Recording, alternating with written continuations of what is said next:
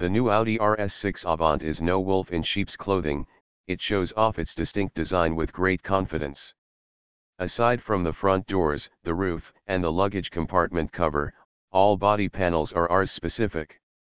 The wheel arches, which are flared by around 40 mm, 1.6 in, on each side, and wheels with a diameter of up to 22 inches emphasize the sporty character of the high-performance Avant, which measures roughly 5 meters, 16.4 feet, in length. The new hood with power dome, the striking lateral air inlets with vertical wings, and the wide flat single frame leave no doubt as to the unconditional drive of the RS icon. RS specific HD matrix LED headlights with Audi laser light and darkened bezels are available as an alternative. The 4.0 TFSI in the new Audi RS6 Avant delivers a greater output combined with an increased level of efficiency.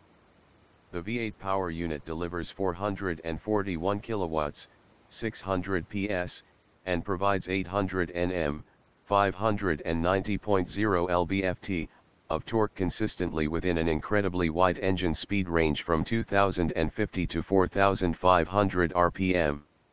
It takes just 3.6 seconds to accelerate from 0 to 100 km per hour, 62.1 miles per hour and in a mere 12 seconds, the high-performance Avant reaches 200 km per hour, 124.3 miles per hour.